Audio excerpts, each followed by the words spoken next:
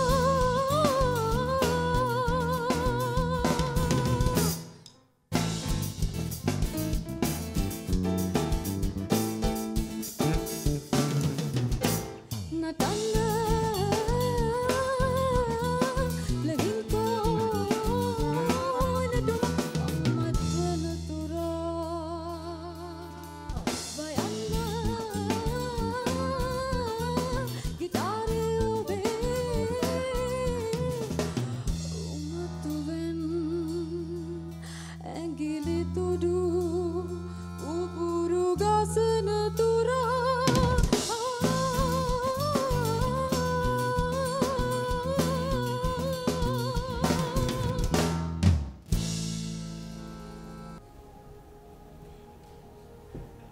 හැමෝටම ආවේ දකුණු අත පැත්තෙන්. මං එයාගේ ආවේ වම් අත පැත්තෙන්. අතර මේ රෝස මලට ඇදිලා ආවේ. වශිකාගේ ගායනය ගැන මම මුලින්ම විමසනවා. නෙළු අධිකාරී මහත්මිය. වෝෂිකා ඔයා හොඳ දක්ෂ ළමෙක්.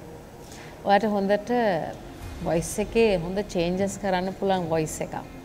හැබැයි වෝෂිකා ඒ ගන්න කොටස්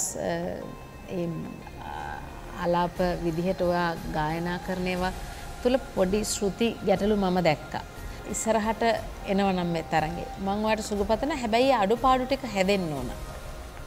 Thank you miss Heshan Gamage මහත්මයා. වශිකා මේක හැමතිස්සම මේ තරගය ගැන අපි කියන එකත් තමයි ජාත්‍යන්තරය කියන වචනය.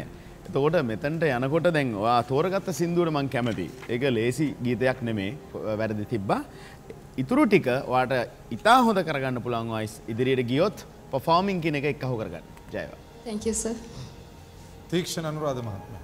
ඔයා තෝරගන්නේ ඉතා මේ වගේ ටිකක් විශේෂ විදිය ගීත. ඉතින් ඒ වගේ ගීතයක් මෙහෙම ලයිව් පර්ෆෝම් කරන්න ඔයාට හොඳට පුරුදු පුහුණුව තියෙනවා. ඒ හින්දා මේ තරඟ වටෙන් ගියොත් ඔයා හෙටම පටන් ගන්න ඊළඟ වටවලට මම මොනවද කියන ගීත කියලා ඒව දැම්ම පුරුදු පුහුණු වෙන්න පටන් ගන්න. එතකොට ආට හොඳ අනාගතයක් තියෙයි. සුබවතන. Thank you sir වශිකා සුබ පතන අවසන් 48 දිනකට. Thank you.